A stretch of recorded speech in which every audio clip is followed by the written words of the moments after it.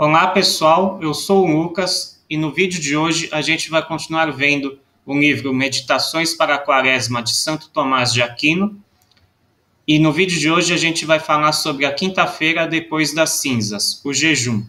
Pratica-se o jejum por três motivos. Primeiro, reprimir as concupiscências da carne, os jejuns na necessidade, porque o jejum conserva a castidade. Segundo São Jerônimo, sem Ceres e Baco, Vênus esfria, ou seja, pela abstinência da comida e da bebida, a luxúria se amortece. Segundo, para mais livremente elevarmos a alma na contemplação das sublimes verdades. Segundo a Escritura, depois de Daniel ter jejuado três semanas, recebeu de Deus a revelação. Terceiro, para satisfazer pelos nossos pecados. Convertei-vos a mim de todo o vosso coração em jejum e em, e em lágrimas e em gemidos. Segundo Santo Agostinho, o jejum purifica a alma, eleva os sentidos, sujeita a carne ao espírito, faz-nos contrito e humilhado o coração, dissipa o nevoeiro da concupiscência. Concupiscência é um desejo ordenado que pode ser é, pela carne, né, não só é, o aspecto sexual, mas também de você comer demais, de você beber demais, como posso dizer também concupiscência por bens materiais, você deseja, você ser avarento, você ser ganancioso. Extingue os odores da sensualidade, acende a verdadeira luz da castidade.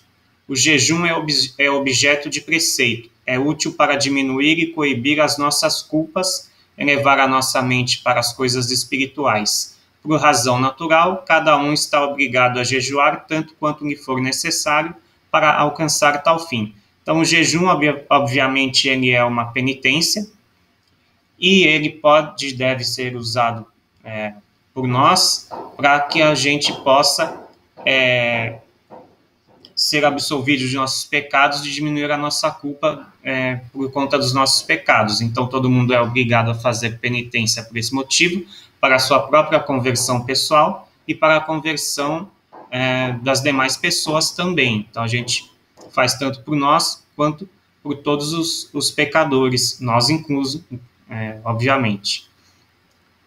O jejum, em geral, constitui um preceito da lei natural, mas a determinação do tempo e do modo de jejuar, conforme a conveniência e utilidade do povo cristão, constitui um preceito de direito positivo, instituído pelos superiores eclesiásticos. Tal é o jejum da igreja, diferente do jejum natural. Então, no jejum natural, você faz o se você quiser e você vai fazer da forma que lhe for é, melhor, que você achar melhor. Mas o jejum que a igreja manda fazer ele é um direito positivo, ou seja, a igreja manda, ela te obriga a fazer, ela pode fazer isso, ela tem esse direito de fazer isso. E ela institui, você vai jejuar desse modo e por tanto tempo, entendeu? Vai jejuar, por exemplo, a igreja nos obriga a jejuar toda é, quarta-feira de cinzas e sexta-feira santa. São os únicos dois dias do ano que a igreja nos obriga a jejuar.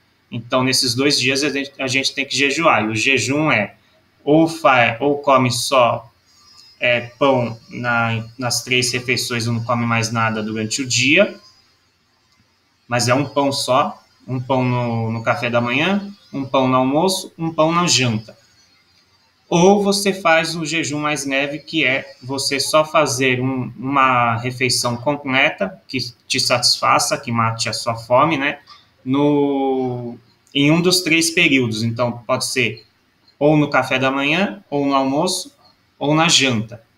Todo mundo faz um almoço, que aí fica melhor para aguentar o, o restante da, da fome durante o dia.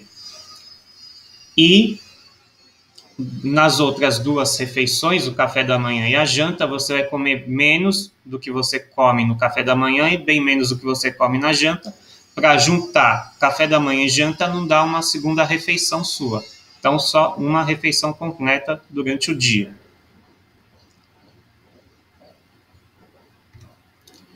Os tempos de jejum são convenientemente determinados pela Igreja. O jejum é ordenado por dois motivos: diminuir a culpa e elevar a mente às coisas espirituais. Por isso, os jejuns foram ordenados especialmente nos tempos em que os fiéis devem se purificar dos pecados e elevar a mente a Deus pela devoção. Isso se dá antes da solenidade pascal, em que as culpas são dissolvidas pelo batismo, celebrado solenemente na vigília da Páscoa em memória da sepultura do Senhor, pois pelo batismo somos sepultados com Cristo para morrer ao pecado. E também na festa pascal devemos, sobretudo pela devoção, elevar a mente à glória da eternidade, a que Cristo deu o começo pela sua ressurreição. Por isso, imediatamente antes da solenidade pascal, a Igreja nos manda jejuar, e pela mesma razão, nas vigílias das principais festividades, quando devemos nos preparar devotamente para celebrar as festas que se vão celebrar. Aqui, hoje em dia, que na época de Santo Tomás era assim, mas hoje em dia o jejum só é obrigatório mesmo na quarta-feira de cinzas e na sexta-feira santa. Bom, por hoje é só. Espero que vocês tenham gostado do vídeo de hoje, tenham entendido o conteúdo do vídeo. Qualquer dúvida, postem um comentário no canal e até a próxima.